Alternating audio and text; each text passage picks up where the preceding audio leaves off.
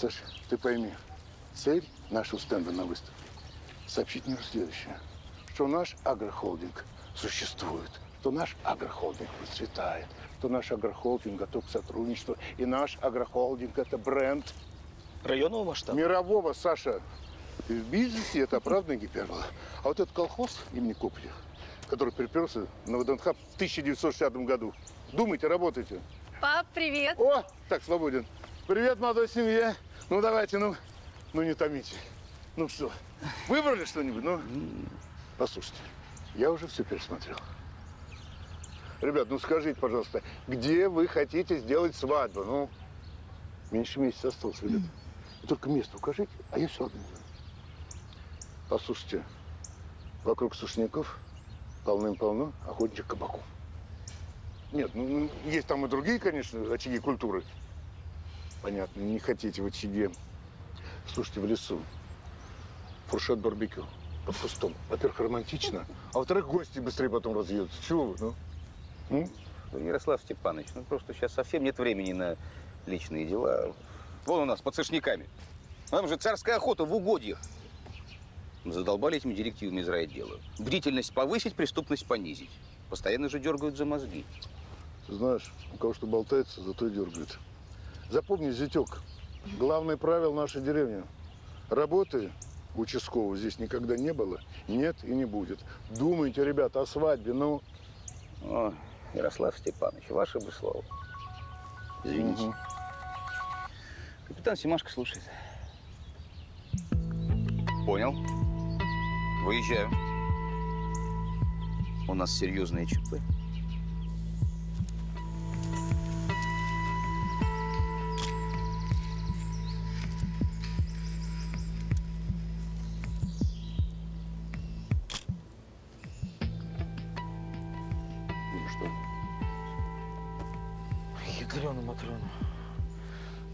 Ничего не путаете? А что ж я путаю, если мне сзади все было видно? Генерал вот там вот стоял, а этот мужик, э, покойник подполковник, э, впереди чуть сбоку.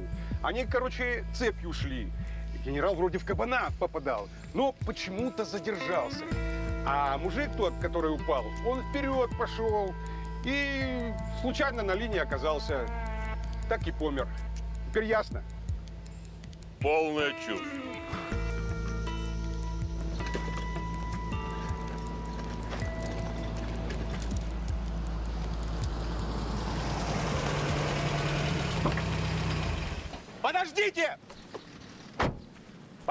Подождите вы! Ну, стой! Да подождите вы! Я капитан Симашко, стойте! Господи, да сколько вас тут? Столько, сколько нужно. Так, мне нужно осмотреть рану. 12 калибр. В спину на вылет. Вы уверены, что желаете это увидеть? Уверен?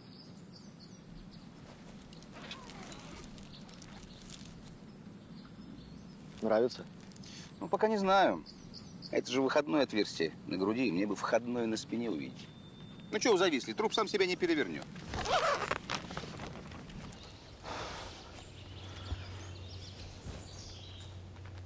Надо как двигать ситуацию-то?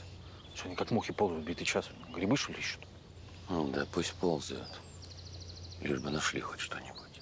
Так генерал уже хочет уезжать. Что значит хочет? Кончились, похоже, его хотелки. Клязьмин, да, он беседует. Разрешить доложить? Участковый деревни Сошняки, капитан Симашко, Коля. И чё? Коля? Так по распоряжению начальника райотдела прибыл в ваше распоряжение для оказания помощи. Слава богу, наконец-то. Трупы воскрешать умеешь? Никак нет. Жаль. Тогда сгоняй за пивом, что ли, привези безалкогольного. А вы ничего не перепутали? Я не курьер, я капитан полиции. А если капитан, то стой на мостике, молчи и не мешай работать. Понял? Так точно. А где генерал стоял?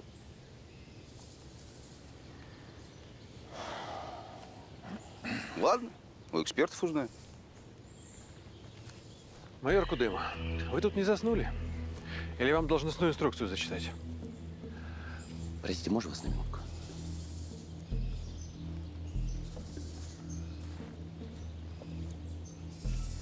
Майор, что за конспирация?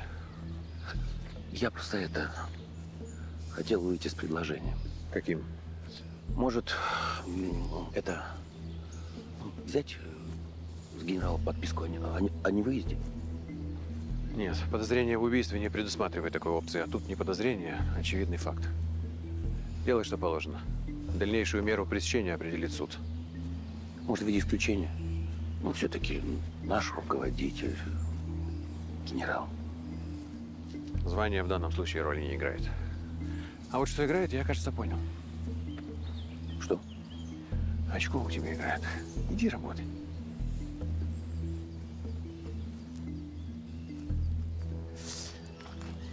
Текс. Судя по пятну крови, тут лежало тело. Мужик, ты уже двенадцатый, кто задает этот вопрос. Вам зачем всем эта информация? Зачем всем не знаю, я хочу координаты засечь.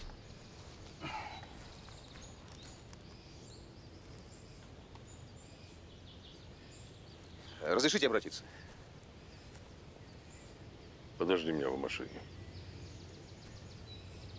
Ну, Я осмотрел тело и затем место, где стояли вы и где стоял убитый. И вот теперь мне нужно понимать, где были кабаны.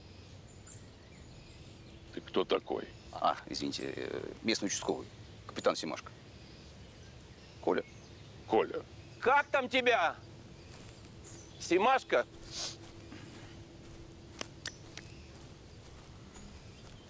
Тебе же приказали не мешать.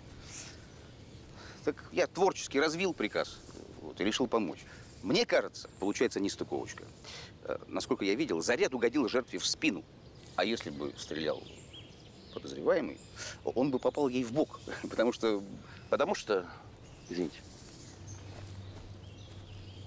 потому что ты уже достал. Мне на пенсию пора, а ты отнимаешь мое драгоценное время.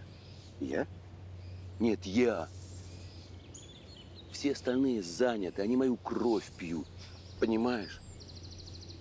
Если ты участковый, ну иди ты и работай на свой участок. Слушай, ты пока нас тут грузишь, у тебя там наверняка уже корову сперли. То, что сказал капитан, и я бы так сказал, это очевидно. Алексей Петрович, ну, конечно, все скажете. Но в данный момент я обязан задержать вас на установленный законом срок. Майор, вы в своем уме? Что значит задержать? Ну, так положено. Вы обвиняетесь в совершении непреднамеренного убийства. Да куда я денусь? Ну, все, все, все, мне надоел этот цирк. Я уезжаю. Генерал Фирсов! Не пытайтесь оказать сопротивление при задержании. А то что? Ну, как положено. Товарищ генерал, руки, пожалуйста.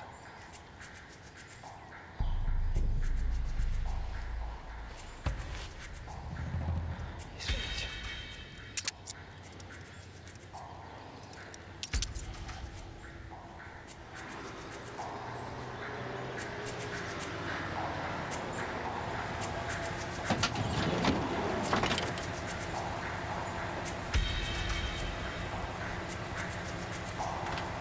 Алексей, Следуйте за нами.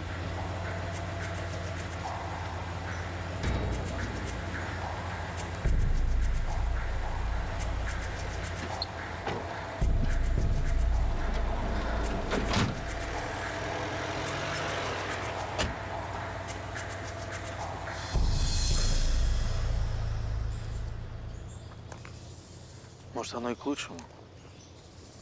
Если вы на пенсию хотите, считайте, что вы уже там, товарищ майор. Из-за вас, козлов, я уже 50 лет, товарищ майор. А другие в моем возрасте генерал. Оно вам надо.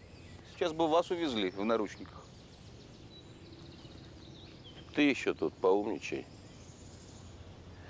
Интеллектуалов развелось. Послать некого. Пришелец. Не понял. Недолго еще тут? А где начальство? Уехало начальство. И слава богу. Значит, и нам самое время. Погоди-ка, Палкин, а ты ж вроде свидетель инцидента. Колян, я операм три раза рассказал и два раза подписал. Хватит, домой пора. Палкин! Палкин! Ты не имеешь права отказываться от дачи показаний. Это ж убийство. Убийство будет сейчас. Симашка, ты вообще кто такой? Ты следователь. Или я обязан показания каждому, каждому участковому давать? Ишь ты. Анекдот такой, знаешь, проще дать, чем отказать. Так вот, с показаниями та же история. Ты мертвого изнасилуешь. Кабаны строем не ходят, понимаешь? Да. Один кабан ломанулся вперед. Генерал захотел его достать. Да. Повернулся, лупанул вдогонку. Да. А на линии этот мужик оказался. Это как- какое уж косогласие надо иметь, чтобы с таким отставанием. Симашка, я вечером за водярой пойду. В магазин тоже захотят показаний. Ну, интересно им. Так вот, я их сразу нахрен пошлю. А тебе вежливо говорю. Отдолбись! Чуть не заблудился в этом вашем лесу. Капитан, если вы в деревню, могу подвезти. У меня там машина. А, спасибо, я на своей, но с вами пройдусь, мне как раз по пути. Вот и хорошо, а мне в другую сторону. Мутный тип. А, согласен, но свидетелей не выбирают. Да, я, кажется, не представился. Полковник Клязьмин, заместитель и друг генерала Фирсова. Да, очень приятно. Ну как же, друг? А что же, позволили нацепить на него браслет? А как ты себе это представляешь? Тут же убийство, спецназ. Да, мы с генералом много лет вместе, и огонь и воду прошли. И вдруг на него наручники надевают. Ладно, разберемся. Да, разбираться-то придется. Какой-то оно все несуразно. Вы же знаете, кто здесь стоял. Не мог генерал случайно этого подполковника пострелить. Вот. И я сразу так подумал. Ну, и как это все объяснить? Ну, я два варианта вижу. Первый мне нравится. Свидетель ошибся и стрелял не генерал. Какой не нравится? Стрелял все-таки генерал. Но не в кабана. Аркаш, ты не глупые вопросы задавай. А скажи спасибо, что в чистой комнате сидел, пока мы с капитаном в лесу грязь месили. Туда столько народу понаехало, что на всех грязи бы не хватило. Плюс один. И не умничайте оба. Завтра утром все экспертизы до кучи соберутся. Нужно будет написать заключение и это дело сдать. И нечего там больше расследовать. Задача ясна? А то вы к кому обращаетесь? Мне пофиг, кто из двоих бездельников напишет эту бумажку. Главное, чтобы утром она была. Разрешите идти? Шутка.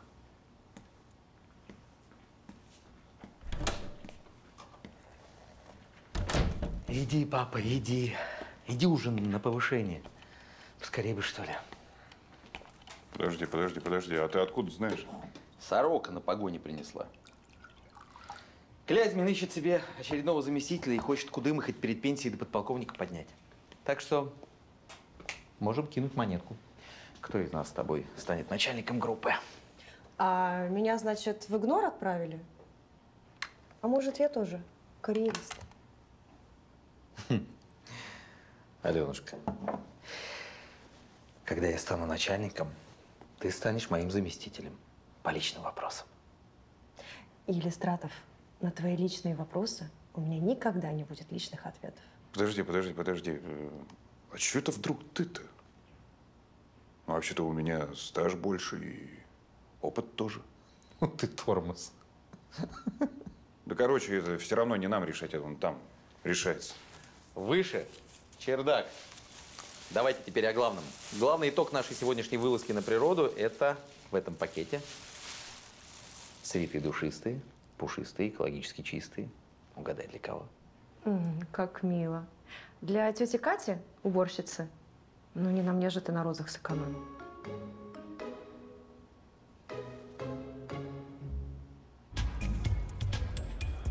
Денис Давыдович, а к вам там опять повестка из управления пришла. И вашему секретарю звонили, чтобы вы... Сереж, не морочь мою мудрую голову. Она сейчас занята совершенно другими вопросами. Ну так заплатите штраф и забудьте. Находите проблемы на ровном месте. Налоговая вас штрафует, вы не платите. Они возбуждают производство, вы не ходите. Надо же полиция как-никак. Да в гробу я их видал. Мы живем в правильном мире. Власть, Добрый вечер. власть обслуживает деньги, потому что деньги содержат власть. И управление полиции будет играть по этим правилам. И очень скоро. Да, да, знаю эту вашу идею. Сделать из управления полиции подконтрольную структуру. Свежего предания довериться с трудом. Не просто подконтрольную структуру, а часть системы, которую я хочу построить. В полиции огромные возможности. Грех на этом не заработать. Единственная проблема – это начальник управления полиции генерал Фьюсон. Он, к сожалению, из другой стаи. Погодите, это тот, который кого-то на охоте подстрелил. Целый день сегодня говорят по телевизору. Из этого вывод. Генерал Фирсов не будет начальником управления полиции. Кстати, о телеке. Вот, отвези это. Отдашь главреду, он в курсе. А это что, если не секрет? Секреты в СМИ не передают. Это горькая правда об оборотне в погонях, генерале Фирсове, начальнике управления полиции. Привет. не заскучал? Э, некогда скучать, родная. Вы сейчас обалдеете. Ну, вряд ли мы обалдеем от списка гостей, если, конечно, ты не писал туда человек 200. К- к- Каких гостей? Коля, я просил тебя набросать список гостей, которых ты хотел бы видеть на свадьбе со своей стороны. А мы со Светой допишем остальных. Свадьба. Это потом. Ярослав Степанович, вот смотрите, что получается. Генерал вот тут стоял, а вот тут жертва. А свидетель был вот здесь. А кабаны, они вот тут были. Ну, никак не получается случайно так выстрелить, чтобы попасть жертве в спину. Пуля криво не летит. Криво. Света, вот объясни мне, почему в твоей жизни все так криво, а? Почему ты в мужья всегда себе выбираешь полных?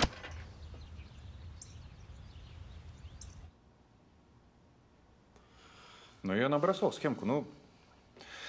Получается несостыковочка, и причем не одна. Ну, нет логики в действиях генерала.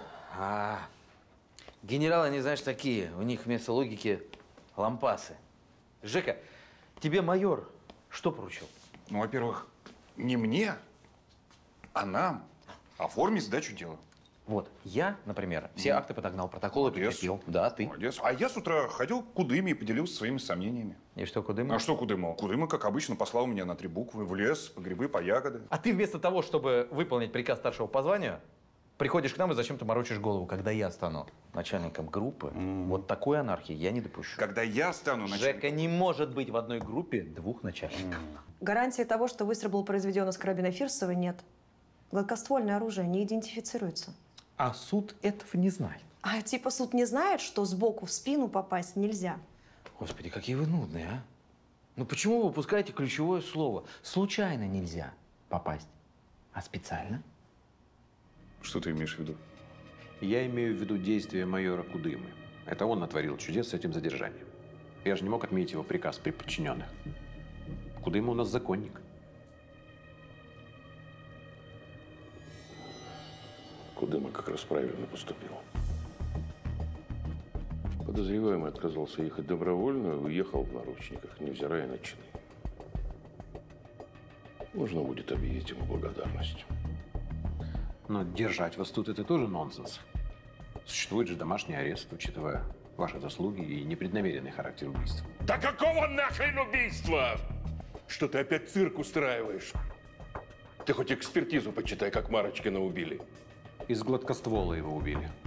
Если вы о том, что такое оружие не идентифицируете… Я о том, что у всех охотников в патронах была картечь. И у меня тоже была картечь. А подполковника Марочкина положили пулей.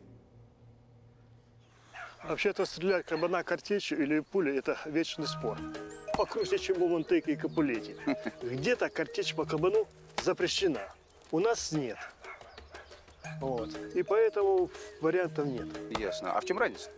В чем? Все начаться на охоте. Очень плохие попадальщики, особенно под градусом. Вот. Угодив кабана пулю им не дано. Поэтому у всех была картечь. Я старший егерь, я за это ручаюсь. Ну, спасибо, все, вопросов больше нет. А у меня есть, Коля, как то моя проблемка? Я знаю вашу контору, не хотел бы на ровном месте влететь. Ну, решай твою проблемку. А чтобы не улетать, не нарушай закон. О, Палки! Привет тебе. Привет. Вопрос имеется не по убийству, чисто как специалист. Но? Скажи, вот перед охотой у участников патроны проверяют как-то? Нахрена? Ну, там, чтобы у всех одинаковый был, там, картечь, например. Так у них и так была картечь. Слушай, что тебе не мерз-то, а? Погоди, у генерала Фирсова тоже картечь была? Симашка, я тебя добром прошу. Отпусти душу на покаяние. Следователь все записал и тему закрыл. Тогда имеется последний вопрос. Вот тебе мой последний ответ. Понял, понял. Понял. Как установлено в результате журналистского расследования, погибший на днях при загадочных обстоятельствах. Подполковник Главного управления полиции Сергей Марочкин за два дня до своей смерти написал рапорт на имя министра внутренних дел, в котором сообщил о преступных коррупционных действиях начальника управления полиции генерала Фирсова. Сам же Марочкин просил министра принять его и обещал при встрече предоставить неопровержимые доказательства о перечисленных в рапорте преступлений. Но после этого трагически погиб на охоте от руки все того же генерала Фирсова. Возникшие вопросы задали наши корреспонденты руководителю следственной группы майору Кудыме. Скажите, пожалуйста, является ли гибель подполковника Марочкина несчастным случаем? Или же это замаскированное под случайность преднамеренное убийство с целью не допустить разоблачения?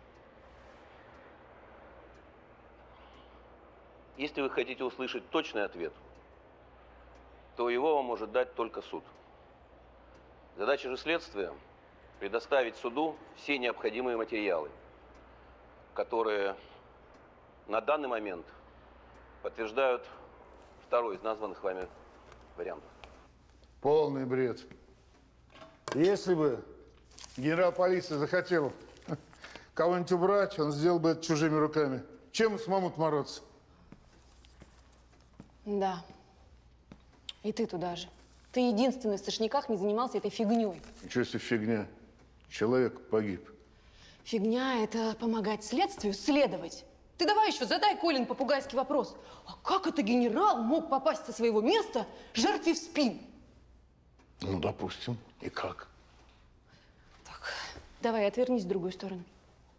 Отвернись, сейчас узнаешь. Отвернулся, отвернулся. Вот, видишь? Вот так и убитый повернулся. Собака залаяла, птичка на голову накакала. Или шишка в башку попала. Сейчас я вам все расследую. Надо ж мне чем-то заняться, раз меня жених бросил. Да, это проблема. Господи, скорее бы проскочить эту долгожданную свадьбу и заняться делами холдинга.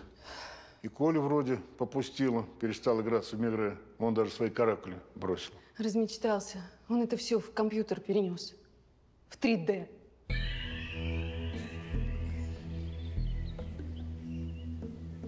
Так. Место здесь. И это у нас гражданин Марочкин. Марочкин. Метр семьдесят два. Угу. Смотрит аккуратно кабанов. На кабанов. Угу. Входное и выходное отверстие расположены под углом. Следовательно, стреляли с земли. Иначе такого угла бы не было. Так.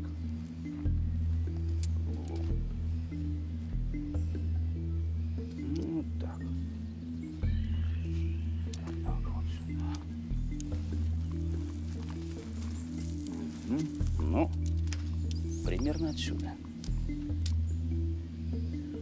Так, я убийца. Целюсь, попадаю, попал. Ну хорошо. Пули-то куда делать?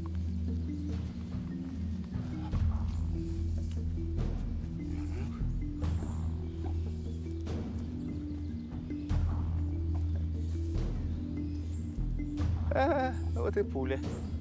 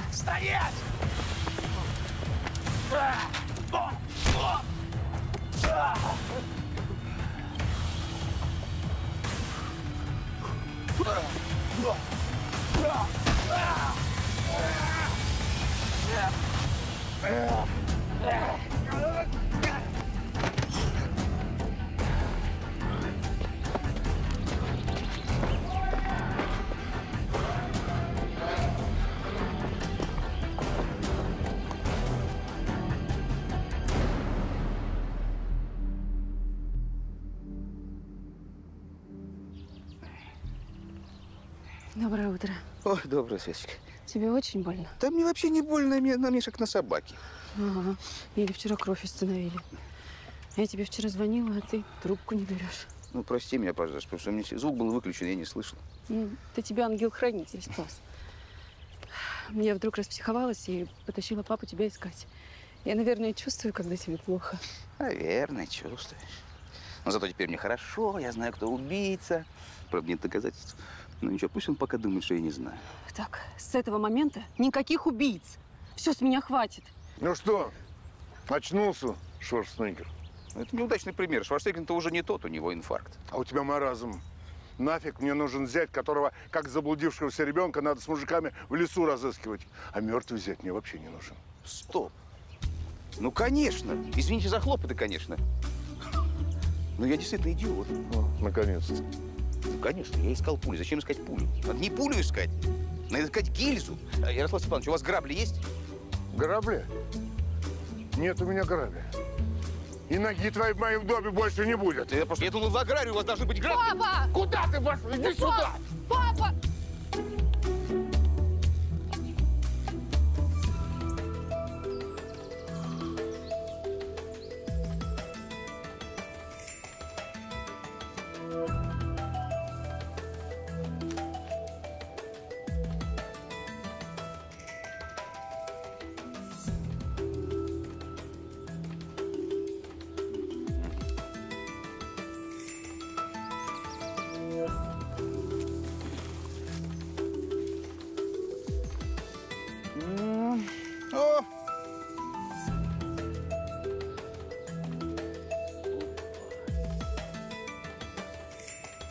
Спасибо, Литочка.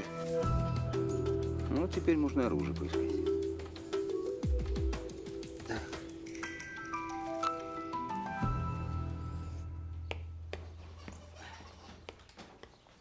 Вот только не надо на меня так смотреть.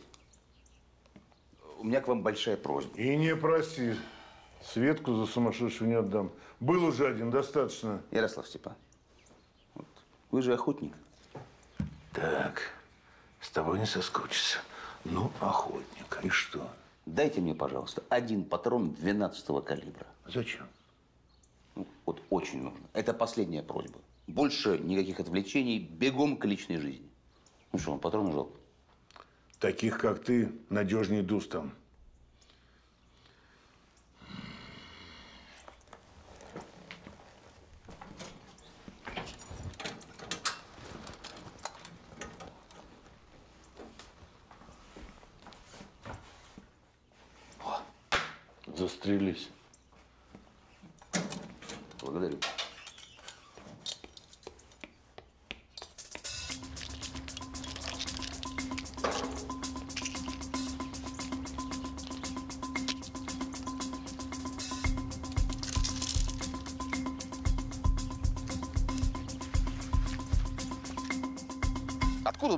Вообще взялся, этот палки? И Сашняков взялся, он же местный. Правда, пару раз на пару лет пропадал куда-то. Куда-то. Туда и пропадал. Перстак у него на пальчике очень приметный. Ну, Мне без разницы. С нашей работой. Кто согласен, тому и спасибо. Коля, Да. ну что там в разрешалке, а? Ну, мне сердце не на месте. Ну, лучше бы он раньше не на месте был. Это на три года регистрацию карабина просрочил. Да как-то... У меня штук пять, один протупил. Ну, что теперь будет? Что будет, что будет? Теоретически дело возбудить могут. А практически? А практически закрыл этого вопрос. Все, готовь писульки, вместе съездим. Просрочку типа не заметит. Коля, я твой должник навеки. Сколько? Одно спасибо и одна маленькая-маленькая услуга. Любая, любая, Коля. Значит так, смотри. Находишь сейчас своего Полкина и отошлешь куда-нибудь в угодье километров за 10. Типа по неотложному делу. Чтобы он до вечера здесь вообще не возникал. Сможешь? Конечно. Тем более и дело есть. Что опять случилось? Так у нас вроде свадьба намечается. Твой папа меня из дому выгнал. Вот приходится на улице общаться. Надо же порешать вопросики. Да вопрос только один. Ты меня любишь? Очень, очень, очень. Правда? Да. А я тебя очень-очень Ну, хорошо, люблю. хорошо. Муа, муа. И мы, и мы будем любить друг друга всю жизнь, это главное. Все остальное просто формальности, да? Да, конечно. Кстати, о формальностях. Мне тут поручили вот обыск провести вот в том доме. Там вроде Тимофей Палкин живет. О, глаз, алмаз, память, бриллиант. Смотри, я сейчас быстренько обыщу. А ты можешь в интересах следствия и закона постоять на шум. Так, а Если что, хозяина тормознуть. Если обыск должны быть поняты, как раз сам хозяин. Ну, это такой специальный обыск, при который хозяин не нужен, даже вреден. Ну, ты можешь помочь ради нашей любви. Хорошо, я посмотрю. Вот, очень хорошо. Ну, как я его тормозну? Не знаю как, ну, не знаю, заговори, заобнимай, зацелуй.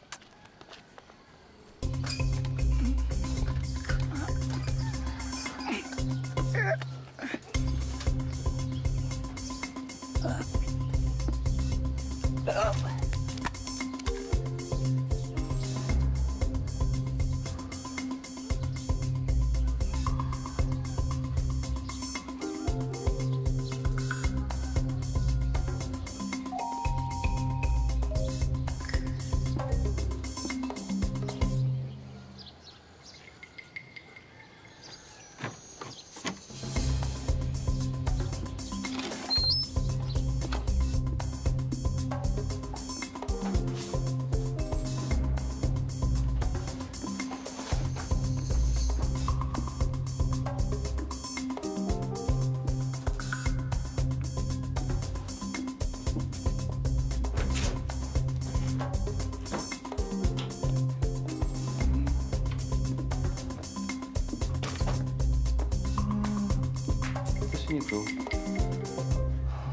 Остался только гараж. Ба, кого я вижу? Кому я говорю? Ты обдумала мой ультиматум? Какой ультиматум, Васька, тебя только не хватало. Давай потом, ага? Потом уже было. Теперь нужно сейчас. Я тебя, между прочим, люблю.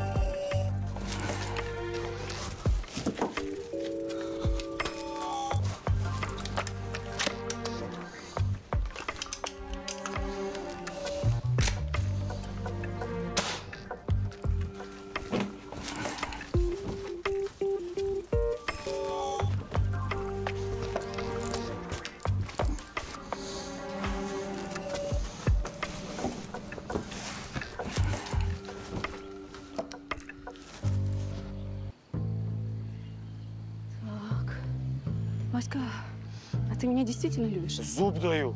Тогда задержи этого хмыря, а лучше уведи куда-нибудь. Я тебя очень прошу. Палкина, что ли? Не вопрос. Вася, быстрее. А поцеловать? А матчасть?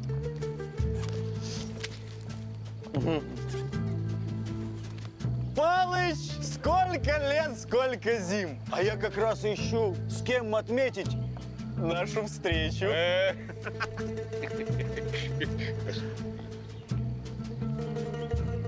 Ты дурак, да? Ты что за квест устроил? Я тут чуть Ваське не отдалась, чтобы он Палкина увел. Чуть? Чуть. Ну, чуть не считается. Светик, ты даже не представляешь, как ты мне помогла. Э, Еще чуть-чуть, и я тоже смогу тебе отдаться. Я побежал. Э, Скажи папе, вечером все порешаем.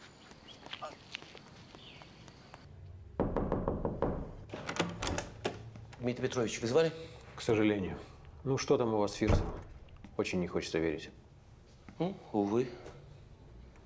Закончили досудебное расследование. Ну, а рапорт министру точно Марочкин написал? Может, подстава? Никак нет. От руки написано. Экспертиза подтвердила. э, Почерк совпадает.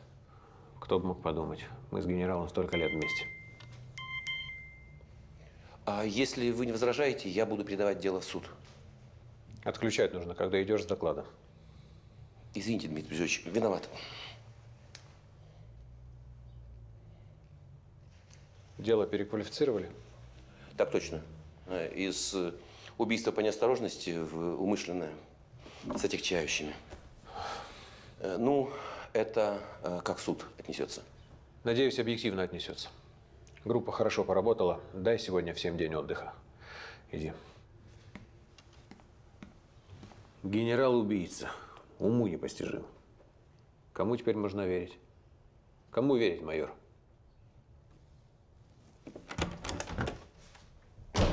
Осло. Ален, ну сейчас бесишь, если честно, прям. Наук города закончились уже. Неужели Супермена могут остановить такие мелочи? А Свенцем? Как тебе такой город, а? Мэриленд. Долбаки. Да нет такого города. А долбаки есть. Господи, да пошли ж ты мне пенсию еще при этой жизни. У меня две новости. Начну с плохой. Клязьмин приказал дать вам один день отдыха. Так а что здесь плохого? А то, что вот вы его получите, пока дело генерала не окажется наконец в суде. Ну, Почему оно мне снится? Пусть снится судье. Разрешите? Еле нашел, сколько дверей у вас здесь. Да, знакомые все лица. Так, деревня Сошники. Как ты здесь оказался, хуторянин? И главное, зачем? Жень, мы с тобой что-то пропустили. Ваше счастье. Только оно уже закончилось. Э, Капитан Симашко, участковый деревни Сошники. Я коротко, по поводу генерала Фирсова. Поздно, дело уже в суде. Не, не волнуйтесь, суд все вернет назад. Выяснилось, что выстрел произведен не из карабина генерала Фирсова. Ядрический батон. Наша песня хороша. Начинай сначала. Ну, понятно, что пуля не идентифицируется, да, хотя я ее ношу. А вот гильза, гильза, да. Вообще, э, у разных ружей следы пайка никогда не бывают одинаковыми. А Это как отпечатки пальцев. Вот смотрите. Вот эта гильза найдена на месте преступления. А вот это проверено на карабине преступника. В сильную лупу видно, что у этих гильз одинаковые отпечатки байка.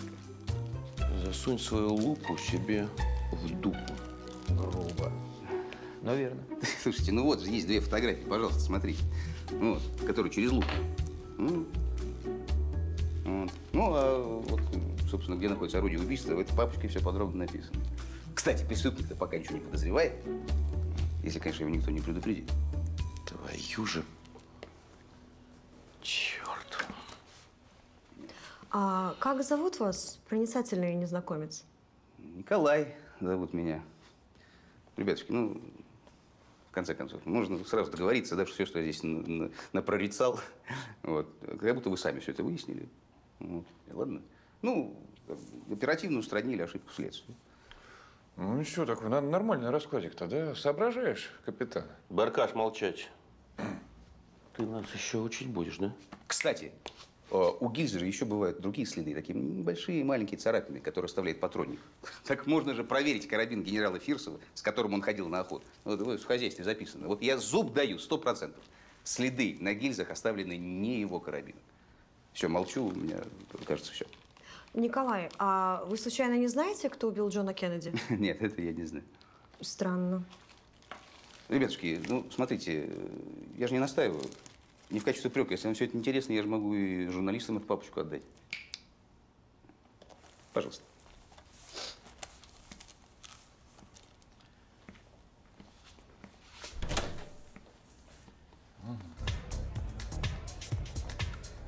Клязьмин, хватит на сиськи пялиться. Это самое интересное, что я видел за последние дни. Весело тебе, да? Я бы попросил мне не тыкать. А я бы попросил вернуть мне те деньги, которые я истратил на эту эпопею с Фирсовым. Почему дебил, которого вы наняли, даже гильзу не забрал? Дебилы дешевле, да? Суперкиллер тоже бы не забрал. У карабина выброс мощный, гильза в траву отскочила. А искать времени не было. Ему валить нужно было, чтобы превратиться из убийцы в свидетеля. Блин, я подключаю все свои связи. Я поднимаю прессу. Я заранее мотивирую суд. Из-за какого-то придурка. А я рискую свободой.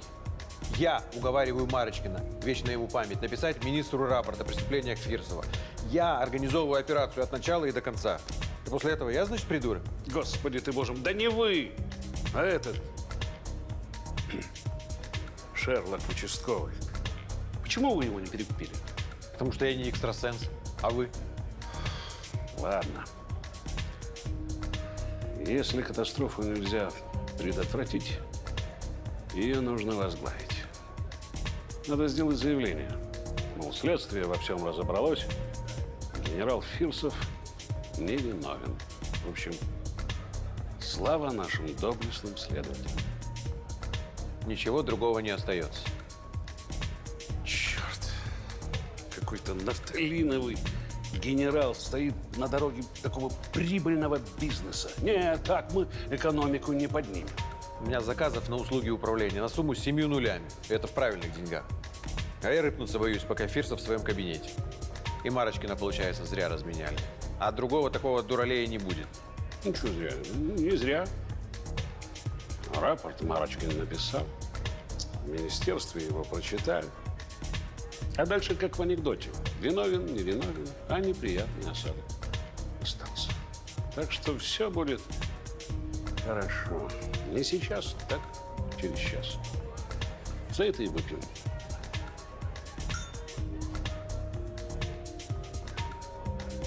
Просто не верится, что все это свершилось. Сейчас быстренько разберемся с гостями, а с остальным я сам разберусь. Возражаю. Первая брачная ночь моя компетенция. Проворонил ты, Коля, брачную ночь.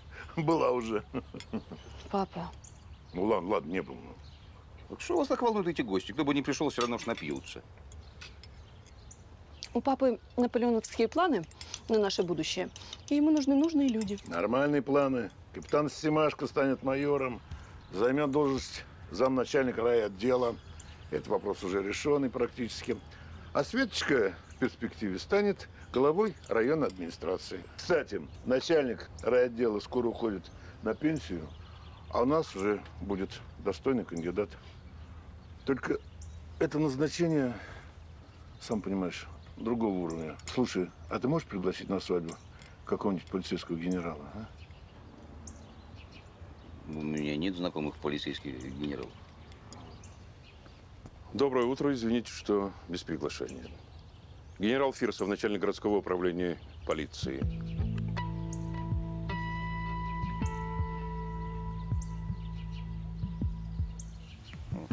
Для меня это большая честь. Я просто выполнял свой долг, не стоит благодарить. Я не собирался благодарить.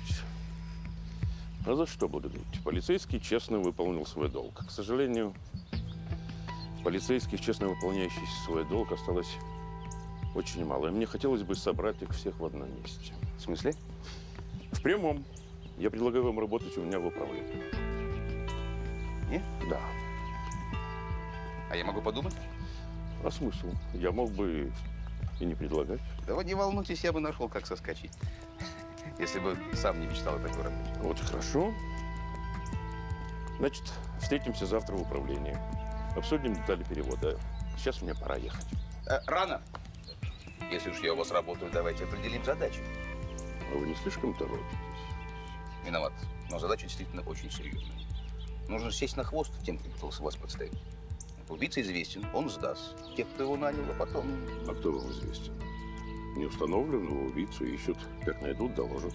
Что значит ищут? Что значит ищут? Я же передал следствию все материалы дела. Они же уже обязаны... Извините.